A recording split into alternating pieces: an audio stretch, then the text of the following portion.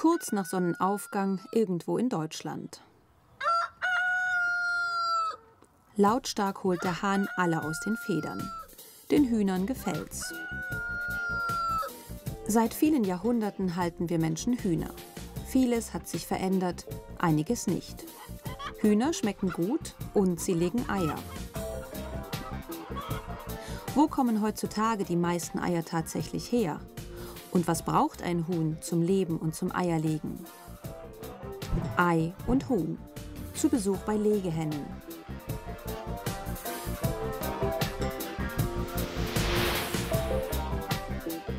Willkommen bei den Legehennen des kleinen Biohofs 100 Morgenland in Sachsen.